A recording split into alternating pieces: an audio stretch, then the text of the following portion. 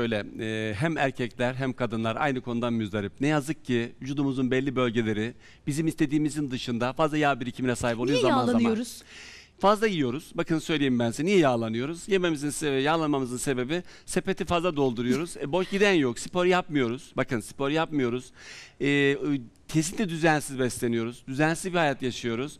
Hayatımıza dikkat etmiyoruz. Fazla yiyoruz. Az yakıyoruz. Dolayısıyla bu yakılan, şey alınan yerlerde yağ olarak bize dönüyor. Yani aldığımız fazla şeyler, gereksiz, lüzumsuz gıdalar bize yağ olarak bedeli dönüyor. O yüzden ben hep söylüyorum.